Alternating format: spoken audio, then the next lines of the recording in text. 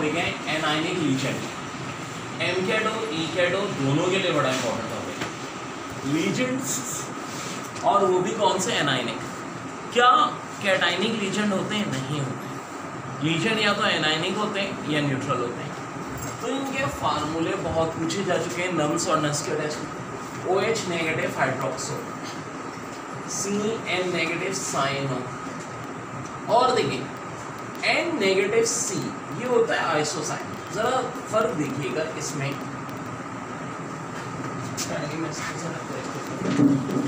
Negative अब यहाँ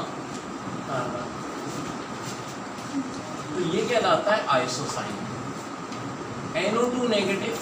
nitro और O N O nitrito O negative NO nitrito और यार को जहाँ एस आ जाए तो थायो का लफ्ज आता है। थायोसाइनो थायोसाइनो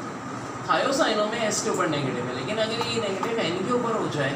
तो isothiocyanato isothiocyanato N H two negative amido N H two negative amido O पे जनाब अगर माइनस टू चार्ज है तो ऑक्सो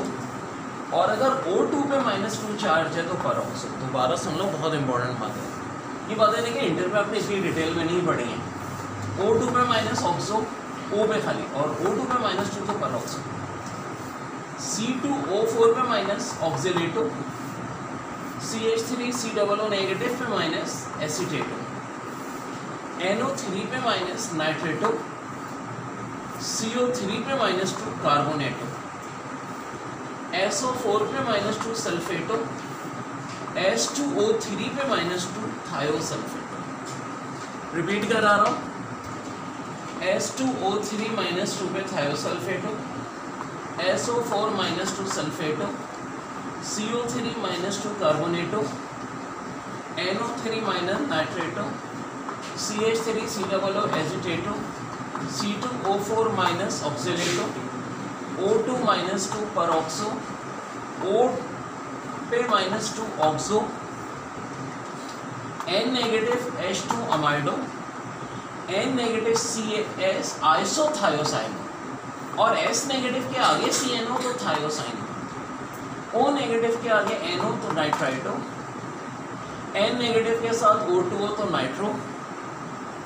एन के साथ C negative isocyano C N negative cyano और ओ एच नेगेटिव हाइड्रोक्सो तो बहुत इंपॉर्टेंट है ये हमारे शुरू के I U P S C name जो लीजेंड्स ठीक है जी?